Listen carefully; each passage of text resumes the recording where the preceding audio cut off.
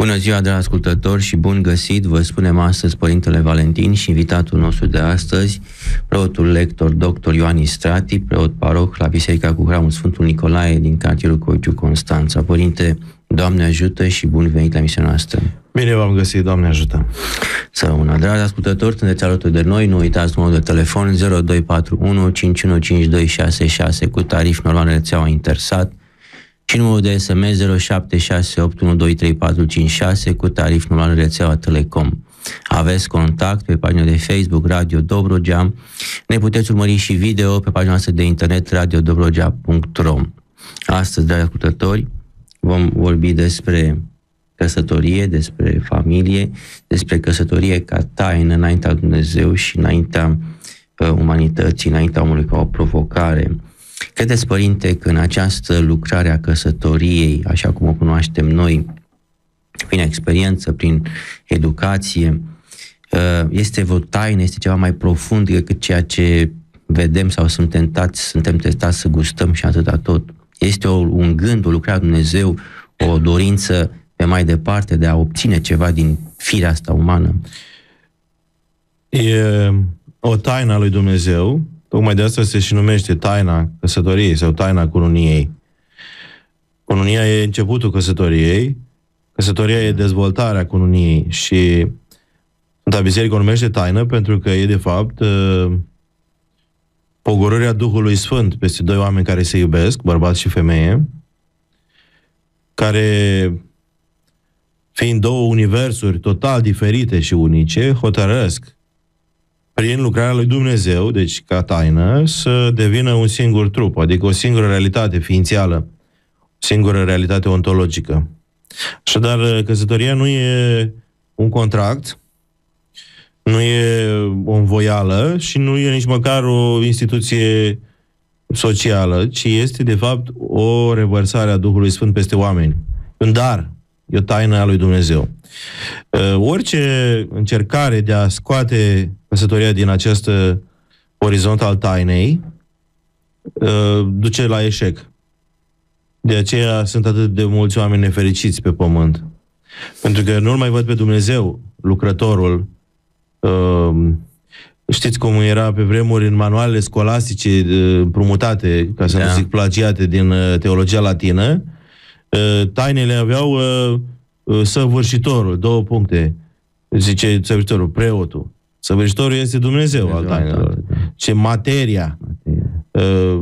pâinea și vinul la Sfânta Împărtășanie. Materia este, de fapt, sufletul, da. sufletul omenesc, întreaga biserică care se transformă euharistic, devine da. trupul lui Hristos.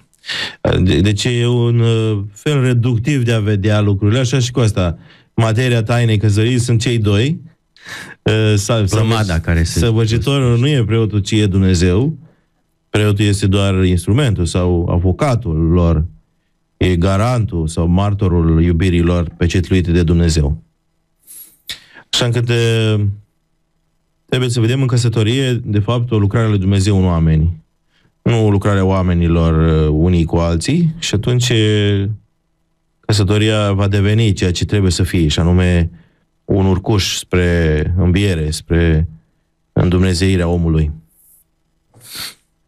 Cât de importantă credeți că este această taină, această lucrare tainică, la care participă și omul în măsura în care este necesar, atât pentru, să zicem, împlinirea, desăvârșirea trupului, cât mai ales a sufletului. Că om, or, oricum am privit lucrurile, toată lumea acceptă până la urmă că omul este nu numai trup, ci și suflet.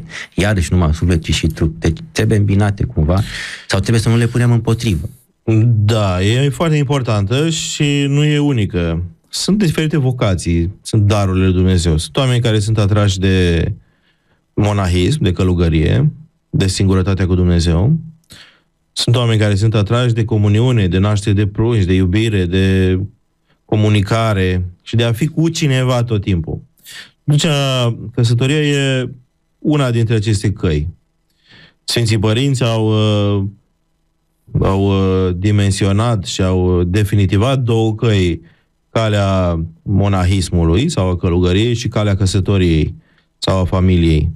Uh, sunt și oameni care sunt monahi interiorizați, adică care sunt singuri și se roagă mereu lui Dumnezeu și atunci uh, ei nu trebuie uh, judecați sau uh, uh, condamnați înainte Bruscați de... în trăirea asta. Da, pentru că la un moment dat existau tendințe de a spune ori căsătorit, ori călugăr, însă vedem că în uh, taina bisericii și în dezvoltarea diacronică, istorică a bisericii, au fost și oameni aceia despre care acatistul acoperământului Maicii Domnului zice celor tăinuiți în mijlocul lumii. Adică acei oameni care aleg uh, o singurătate aparentă, dar uh, care de fapt uh, sunt permanent în legătură cu Dumnezeu. Da. Crezi, Părinte, că este necesar sau chiar trebuie omul să învețe ceva în provocarea aceasta a familiei, că pe undeva familia este un nivel la care trebuie să ajungi și în care trebuie să te dezvolți sau să te manifesti în așa fel încât să beneficiezi, să nu strici, să nu alterezi și să treci cumva prin această provocare cumva împlinit sau să se vadă că ai trecut da. această Fam- experiență. Familia e un examen prelungit.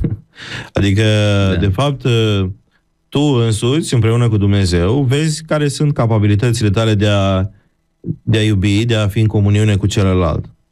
Este un examen cumplit de greu, pentru faptul că marea, imensa majoritatea oamenilor nu pricepe, majoritatea aceasta, ă, care este scopul și care este sensul căsătoriei. Cei mai mulți dintre oameni, îmi pare rău să o spun, dar trebuie să o spun, ă, o privesc, căsătoria o privesc ca pe un contract de um, desfrânare legală. Adică mi-am găsit o femeie sau un bărbat, mă rog, în funcție de cine ești, și uh, văd de treaba mea, uh, m-am așezat la casa mea, zice, nu mai umblu pe coclauri și atunci e un fel de contract de prestări servicii fizice. Ori asta este o aberație, e o... E prea puțin. e prea puțin, e prea rău. E cumplit de rău pentru faptul că cu asta, de fapt, tu te complaci în patimă. Căsătoria înseamnă dăruirea de sine a celor doi, suflet și trup, înseamnă o iubire care devine născătoare și euharistică, înseamnă o jertfă de sine uh, totală pentru celălalt și pentru viețile noi care vor apărea, pentru prunci. Căsătoria e, de fapt, uh, o răstignire a euului, o ucidere a lui eu și o naștere a lui noi. De aceea, spre exemplu, părinții totdeauna când apar copiii, zice, nu mai trăiesc pentru mine. Cum spunem, vai, nu mai spun vai de mine, spunem vai de noi. Vai de noi. Ultima bucățică de mâncare bună o dai copilului. Nu mai dormi noaptea. Uh, toată averea, toată bogăția, tot ceea ce ai, o dai pentru copii. Uh, suferi mai mult decât ei atunci când sunt bolnavi. Așa încât căsătoria e o răstignire uh, care pare frumoasă la început uh, și care, de fapt, este un examen foarte greu pentru a vedea dacă suntem compatibili cu raiul. Așa încât uh, ați întrebat cât este de importantă. Cine înțelege care este rostul căsătoriei, Căsătoria e un, o trambulină, e un mare ajutor pentru mântuire. Cine nu înțelege care este rostul căsătoriei, atunci căsătoria e, de fapt, o antecamera o sândei. Devine o povară. O povară și o suferință și, de fapt, uh, uh, oamenii nu mai înțeleg. Pentru că zic, domnule, dar eu am crezut că o să fim mereu tineri, mereu frumoși și totul va fi perfect, toți vom zâmbi. Știți? Și atunci când apar marile greutăți, cumplitele, boli, suferință, decesul, moartea celor apropiați, de aceea căsătoria e o etapă provizorie și uh, ea se termină cu moartea. Da? Deci chestiile astea de genul că vor fi împreună în veșnicie, Vom fi cu Dumnezeu împreună în veșnicie. Mulți doresc și gândesc că trăind aici împreună, așa de mult se agață și se prind unii de alții, încât consideră că dincolo vor fi împreună și îți doresc și se roagă. E fals. Asta. e fals. Uh, Mântuitorul Hristos spune, și vor, să-l luăm de bun, că vorbește însuși Dumnezeu, că la înviere nici nu se însoară, nici nu se mărită, ci sunt ca îngerii lui Dumnezeu. Adică iubirea noastră se extinde și se împlinește atât de mult încât iubim pe toți cum iubim pe mama și pe tata. Sfinții iubesc așa. Ați văzut, Sfinții nu mai uh, iubesc pe toți oamenii așa cum îți iubești tu copilul, sau cum îți iubești tu părintele, sau tatăl, sau mama, sau soția. Adică e o iubire integratoare care nu mai ține cont de exclusivități. Căsătoria pământească e exclusivă. Iubești pe cineva cum nu iubești pe nimeni altcineva. Și nici n-ai dreptul ăsta. Ei bine, în rai, noi iubim pe Dumnezeu și în iubirea lui Dumnezeu, care este totală și infinită, iubim pe toți oamenii la fel de mult. Și adică total. Deci, trebuie văzut acest, aceste limite ale căsătoriei, pentru că dacă nu, transformăm căsătoria într-un idol. Și atunci e foarte cumplit ceea ce se întâmplă. Și anume faptul că uh, oamenii uh, încep să iubească pe celălalt, ființa iubită, să zic, mai mult decât pe Dumnezeu. Și o transformă într-un zeu. E bine, omul acela e un om cu probleme, cu păcate, cu imperfecțiuni, cu răutăți.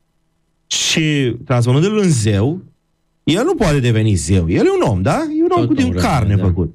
Însă în spatele lui, atunci când cel iubit, uh, cel care iubește, el prea slăvește pe acest zeu, în spatele lui apar demonii, așa cum rângeau demonii în spatele statuilor moarte din templele păgâne. Te rugai la o piatră, dar de fapt în spatele pietrei era un demon, o patimă completă care rângea și care zicea, ha, ha, mulțumesc că acorzi cinstire ca lui Dumnezeu. Și care nota pe cei care slăjeau acolo. Da. Și atunci idolul căsătoriei e următorul. Iubești pe celălalt, iubești pe soție sau pe soț sau așa, mai mult decât pe Dumnezeu. Și atunci asta e, e foarte grav, pentru că, ă, de fapt, ă, cazi într-un păgânism al iubirii. Și această iubire devine, până la urmă, pierzătoare de suflet. Și acest păgânism este cu atât mai periculos cu cât ă, este ascuns sau uh, cu afat așa cu aspecte creștine sau se dezvoltă într-un mediu creștin. Da, e, e fantastic cum se poate deghiza cameleonic uh, demonismul uh, păcatului și pierzarea și viclenia în uh, haine, în odăși din uh, veșminte de acestea ale bunătății, ale uh, spiritului creștin. De fapt, uh, totdeauna când iubești pe cineva, într-un mod matrimonial, să zic, deci îți iubești soția, să zic, trebuie să-L iubești pe Dumnezeu din soția ta, Trebuie să iubești pe Dumnezeu din copiii tăi. De aceea uh, Mântuitorul Hristos zice cel ce va lăsa mamă, tată, casă, averi, uh, femeie, copii pentru numele meu, însutit va lua și viață veșnică va moșteni. Asta nu înseamnă că trebuie să lăsăm totul și să ci că niciodată nu trebuie priviți oamenii mai mult decât pe Dumnezeu și că totdeauna trebuie să-L vezi pe Dumnezeu în oameni. Dacă nu mai vezi pe Dumnezeu în oameni, oamenii devin un zid între tine și Dumnezeu. Da, și trebuie ajutat să să-și revină. Uh, ați spus la un moment dat, când vorbeam despre căsătorie, că uh, în cadrul căsătoriei răstignirea se învață. Este un tema foarte frumos, da. într-adevăr. Uh, și mă gândeam la um, ceea cum numim noi, că noi românii, căsătoria, căsnicie. Adică un moment de nevoință, de luptă cu tine, cei din jur, vine de la verbul la căsni, adică nu este chiar așa o E o caznă. O plăcere continuă, da. ci o nevoință, apropo de nevoința paralelă a monahilor și încă Nu e doar nevoință, e și foarte multă bucurie, e și da. foarte multă fericire. Cea mai mare fericire e aceea uh, de împlinirea vocației căsătoriei în nașterea de prunci. Această vocație născătoare e cea mai sfântă vocație de pe pământ. Atunci când vezi că devii împreună născător cu Dumnezeu. Și da. că rămâne ceva nemuritor după tine. Faci o casă, după 100 de ani nu mai există. Faci orice în lumea asta. Poate dacă scrie o carte foarte bună, dacă să mai rămână mai mult. Dar uh, când ai făcut un copil, de fapt, uh, suflet nemuritor, vocație infinită, absolută. Da. Însă, vreau să spun și cealaltă fața monedei, mai tristă, toți criminalii în serie au fost sfinți la început, când erau bebeluși. Adică trebuie să ai grijă ce să faci ca acești copii pe care tu îi naști să devină oameni și fii ai lui Dumnezeu. Dacă tu naști niște fiare, atunci, într-adevăr, că ești născător de fiare și primești o sândă în loc să primești răsplată de la Dumnezeu. Într-adevăr, frumos a spus, au fost niște sfinți ca prunci la început. Dar, dar cred că mediul în care au venit sau i-a primit, nu era chiar așa o familie, o căsătorie sub taina și binecuvântarea Dumnezeu. Nu mă sigur acolo ceva se întâmpla. Păi, nu știu dacă și mediul, și mediul, dar și ereditatea și acea progresivitate a virtuții sau păcatului în oameni prin generații. Știi că dacă, da. știți că dacă, spre exemplu, ai vii dintr-o familie uh, cu multe păcate și în tine păcatele se vor manifesta ca niște slăbiciuni, ca un fel de sete de a păcătui, ca o neputință de a răspunde și a refuza păcatul. Da, da. Și atunci familiile uh, pot să fie familii fericite, aparent, totul perfect, bunăstare, să copilul să devină, la fel cum am mai spus și mai înainte, să devină copilul un zeu, să devină un uh, dictator, să țipe, să, sau să, sau devină un copil de bani gata, adică un om care cere totul de la toți și nu dă nimic la nimeni. Atunci nu mai prețuiește valoarea muncii, a jertfei, a educației, nu mai știe ce aia greutatea de a obține ceva și nici bucuria. Da? Când ți s-a fost dat totul de gata, nu mai ai bucuria aceea uh, sfântă pe care o obții când ai muncit foarte mult pentru acel ceva. Trebuie să existe, vorbeați de această încărcătură uh, spirituală negativă cu care se nasc unii copii, chiar în familie bine așezate, dar vin din, uh, din uh, strămoși, din uh, generațiile anterioare. Trebuie să existe antidot și medicament și pentru aceste stări. Și există, există. Cred că în cadrul familiei, mediul familiei...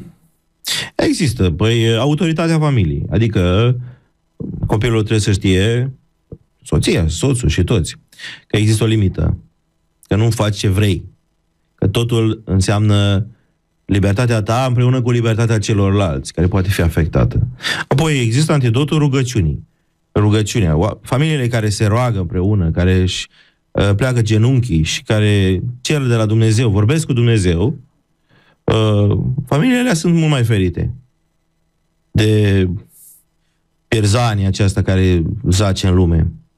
Apoi, uh, Sfânta Împărtășanie este antidotul cel mai sfânt uh, împotriva tuturor uh, răutăților acestei lumi. Dacă ai copiii de mici și împărtășești, dacă ai un ritm liturgic de rugăciune, de sfințenie, dacă uh, păstrezi legătura cu duhovnicul prin spovedanie, e bine și, spre exemplu, soțul și soția să aibă duhovnic comun. Pentru că atunci duhovnicul poate, prin puterea Duhului Sfânt, să cântărească și să cumpănească anumite tendințe, anumite exagerări, anumite obsesii, anumite um, picături de neființă care se pun pe, pe sufletul uneia sau celuilalt sau a amândurora. Da.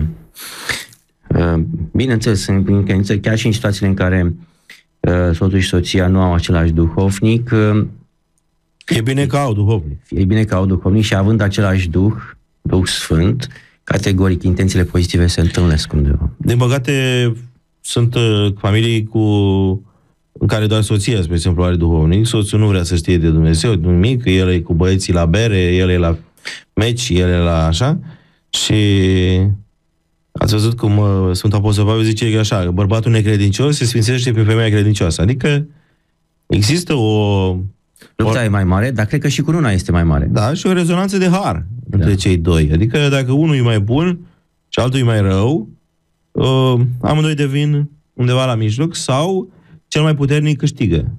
Știți că se spunea că ai în tine doi lupi, unul bun și unul rău, unul alb și unul negru. Și zice, și cine câștigă? Zice, cel pe care îl hrănești prin gânduri. Așa și cu familia. uh, câștigă cel mai puternic. Sau uh, uh, Dumnezeu intervine atunci când noi îi cerem ajutorul. Însă foarte puțini oameni mai cer ajutorul lui Dumnezeu. Sunt oameni care cad în disperare sau, uh, a, nu știu, apelează la alte căi, cicălesc uh, pe celălalt, uh, ceartă, urlete. Niciodată nu se rezolvă nimic prin urlete. Niciodată nu se rezolvă nimic prin violență. Totul se rezolvă prin rugăciune și prin harul Duhului Sfânt. Aia am zis că căsătoria e o taină a lui Dumnezeu și o lucrare a lui Dumnezeu în oameni. Spuneați că observație clară, evidentă, că nu mai cer oamenii astăzi ajutor la Dumnezeu. De ce credeți că se întâmplă această răcire, să zic eu așa, această neîncredere? Din cauza materiei. Au multă materie. Prea multă materie. Multă materie, dar nu numai în trup. Adică în obezitatea ontologică a lor, ci totul e perfect, totul e mult. Uh, oamenii mănâncă 5 ori pe zi sau de 3 ori pe zi. Acum 200 de ani mâncau de două ori. Acum 1000 de ani se mâncă o dată pe zi. Sfântul Muteatru se mănâncă numai seara. Da. Nu zice nimeni, vai, am ținut post până seara, ce grozav sunt, sau uh, materie, da? După ce, aceea... Ce normal sunt. Da, toată lumea, acum 300 de ani, și acum 200 de ani, și acum 100 de ani, tre- tre- casele erau formate dintr-o singură cameră. Da. Și în afară de boieri. E. Acolo stăteau toți, acolo era căldură. Interesant că aveau loc toți. Da, fiecare avea lavița lui, unde și odihnea oasele. Îți vă dați seama că astăzi, vai de mine, copilul trebuie să aibă camera lui. Pentru Camera că, lui. După aceea... Și nici așa n-are loc. uh, living, uh, cu tare, dining. uh, Și, vedeți, materia separe, face ziduri.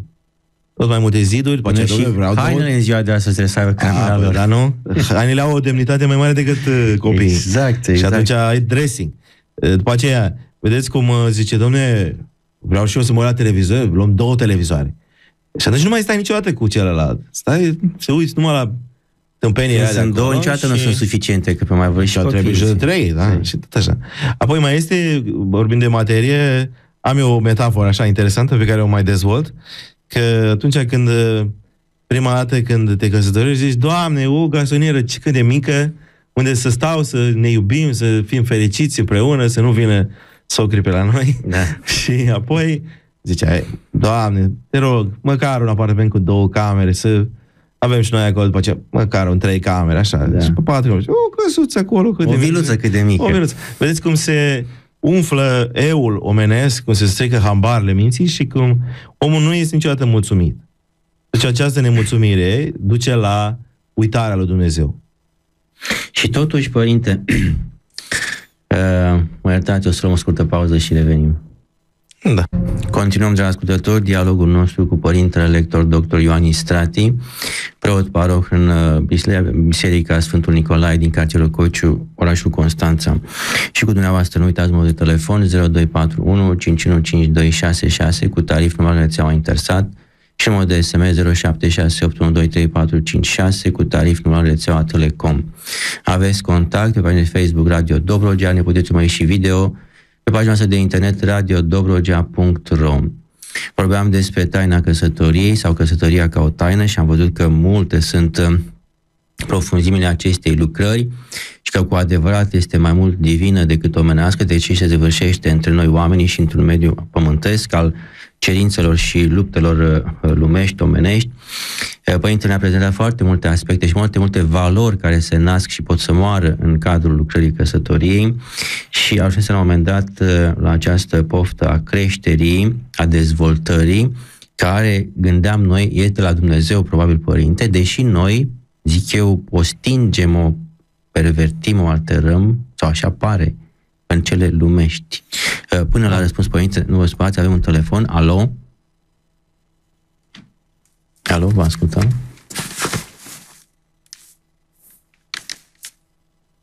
Sau una, Doamne ajută.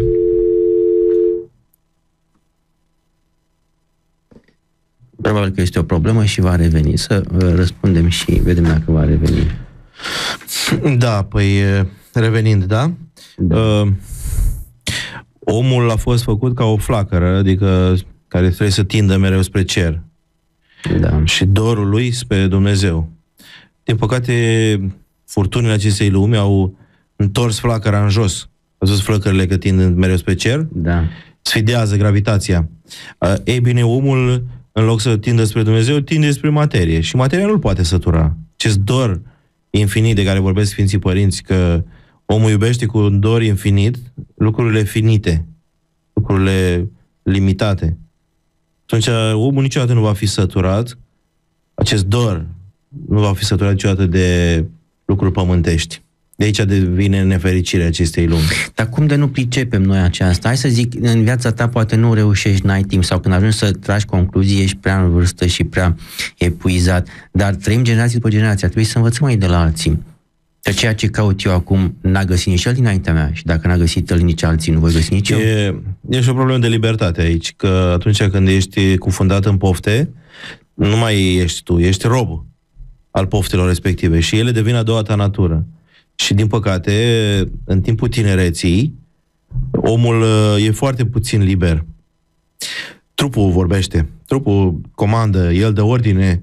Și e interesant că, mă iertați, în timpul tinereții omul chiar crede că este foarte liber. Păi da, zici că ești cel mai liber. Tinerii frumoși și liberi, știi? De fapt, tinerii sunt foarte robi. Foarte ai păcatelor, ai patimilor, ai trupului, ai alcoolului sau, mă rog, uh, de fapt, uh, nu mai dictează omul, ci dictează anumite substanțe din el.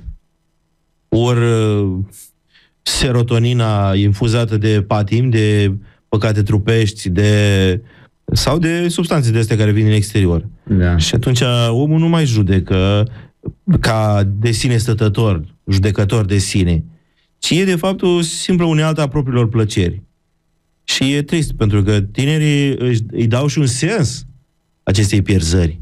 Că zice, vreau, de, vreau să cunosc profunzimile firii omenești, vreau să mă cufund în iubire ca să, într-un ocean. Să învăț din greșeli. De fapt, e o patimă foarte gregară, foarte e, grobiană, aș spune, care, de fapt, e o formă de dependență în drog. Da.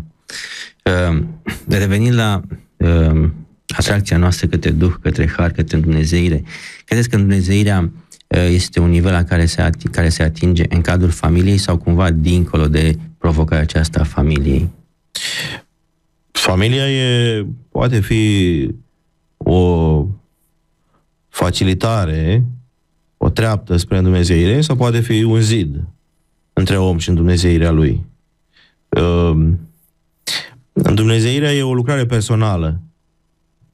Ea are o valoare comunitară, în sensul că e o valoare a iubirii de ceilalți, însă e și o valoare a deciziei și a libertății tale personale. Și atunci uh, sunt oameni care au lăsat totul, inclusiv familia, și au urmat lui Hristos. Și pentru faptul că familia era de fapt un fel de distragere a, sau o, era o distracție a atenției de la cele foarte Obiectivul importante. principal. Aici e o întrebare foarte delicată cât de mult greșesc sau cât de mult bine fac acești oameni care fac pasul acesta, nu neapărat pentru sufletul lor, chiar și în relația cu familia, cu societatea. Deci cât de bine este pasul acesta, cât de bun este pasul acesta sau, sau cât de cu semnul întrebării? Păi, depinde de ce fel de om este. Sunt oameni care își regăsesc uh, ființa în comuniune. Sunt oameni care își regăsesc ființa în singurătatea cu Dumnezeu. Uh, de fapt, criteriul următorul. Ce mă apropie de Dumnezeu? Dacă familia mă apropie de Dumnezeu, familia e dumnezeiască și bună. Dacă familia... Asta e nivelul tău. Da. Dacă mă îndepărtează de Dumnezeu, atunci familia e o primejdie și trebuie să schimbăm ceva în familie. Adică biserica nu binecuvintează niciodată uh, părăsirea familiei, distrugerea familiei doar pentru că simți tu că ai o vocație. Dar au fost și cazuri în istorie de sfinți care au ajuns la un comun acord uh, să păstreze uh, familia atâta timp cât ea are uh, naștere de prunci, creșterea pruncilor și așa. Sunt oameni care, spre exemplu, la bătrânețe se călugăresc.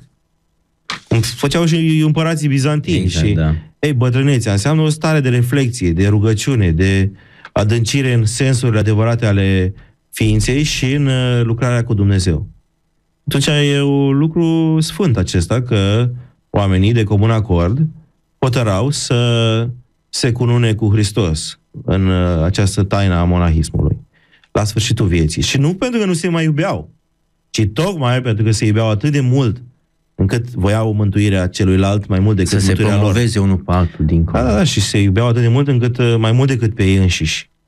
Și zice, domnule, pentru, pentru mântuirea ta voi face orice. Observați deci că căsătoria e o taina iubirii și iubirea înseamnă, de fapt, jertfă. Înseamnă să te doară inima pentru celălalt. Înseamnă să suferi. Iubirea e o rană. E o rană uh, în sufletul tău pentru celălalt și o iubire și o, nu știu, un dor mai mare pentru celălalt decât pentru tine. E o ieșire din orizontul îngust al mândriei. Și atunci e clar că e foarte important faptul că căsnicia trebuie tot timpul privită prin prisma mântuirii celor doi sau celor mai mulți, dacă sunt și copii. Da. Spuneați de biserică că nu binecuvintează uh, o familie cu astfel de uh, orientări care nu merg la Dumnezeu. Practic, mă scuzați, biserica nu binecuvintează chiar deloc o familie fără Dumnezeu. Fără Hristos ca, ca existență centrală, nu? Biserica binecuvintează la început pe toți. Însă le pune în vedere. Adică omul are creier în cap. Și o, biserica e acolo și îi spune, trebuie să continui cu Dumnezeu, trebuie să te rogi, trebuie să ai un program liturgic de rugăciune, de prezență la biserică. Din păcate, astăzi uh, căsătoria a devenit un fel de uh, încununare fastuoasă a patimilor. Biserica nu mai poate face nimic. De aceea biserica trebuie să se reîntoarcă la sfatul și la spovedania mirilor înainte de căsătorie.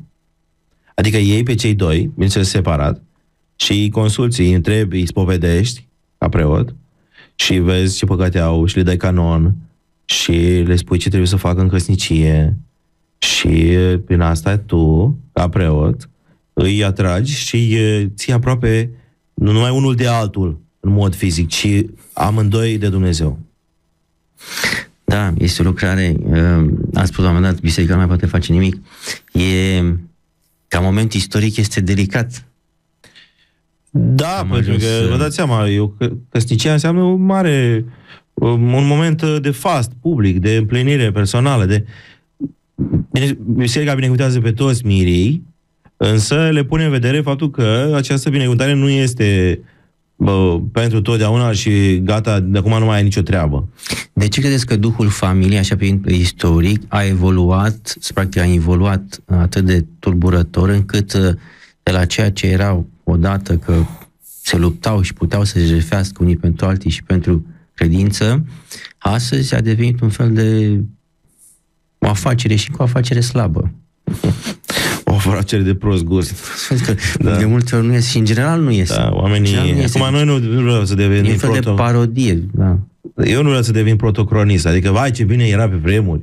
Că Nu, și acum urmărim, câteva uh, sute de ani se, mo- se omorau oameni între ei, toată lumea avea cuțiți la el, uh, ucideri, tâlhari, violență uriașă, războaie cumplite, molime.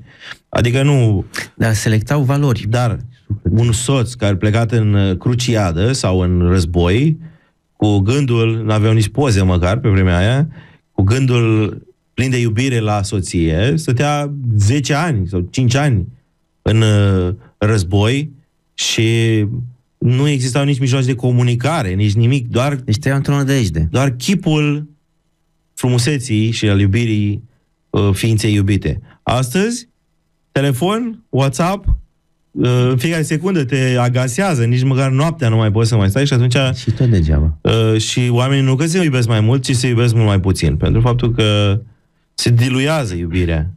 Că știți cum e, dacă iubirea e în inimă, e pretutinde, iar dacă nu e în inimă, nu e nicăieri. Dacă tu iubești e, sufletul celuilalt, îl vei iubi o veșnicie.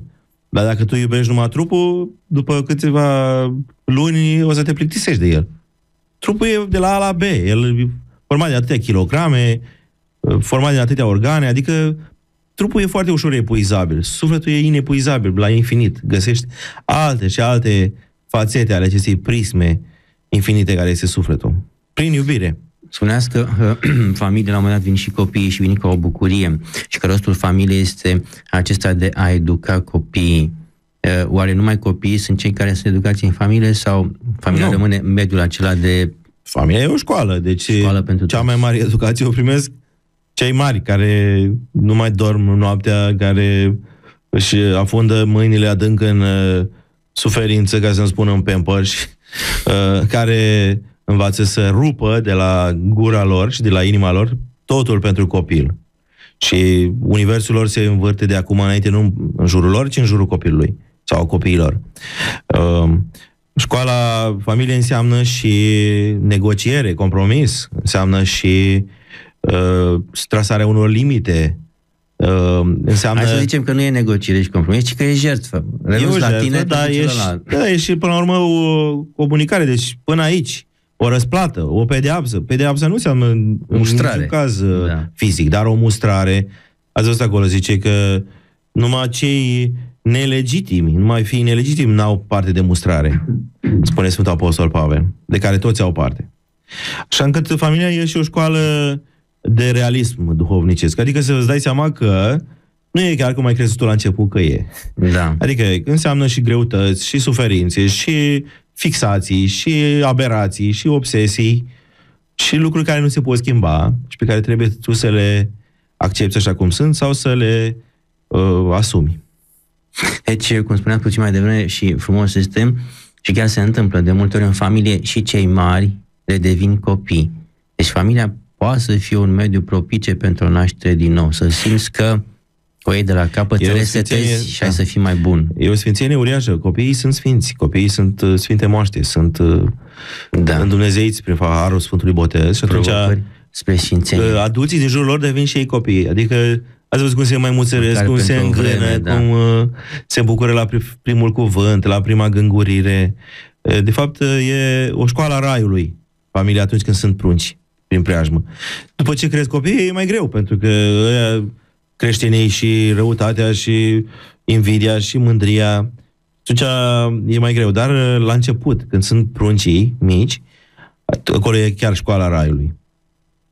Putem spune într-un final că familia este, sau familia este acolo numai unde este promovat uh, cerul, taina cerului, Hristos, principiile creației și în care acolo unde adevăr, unde sufletele tind spre veșnicie, unde doar se trăiește doar pentru aici sau pregătim ce avem de rumegat astăzi și mâine, uh, acolo chiar nici nu este familie. Pare să fie, dar nu știu dacă se simte, da, se simte gustul acesta.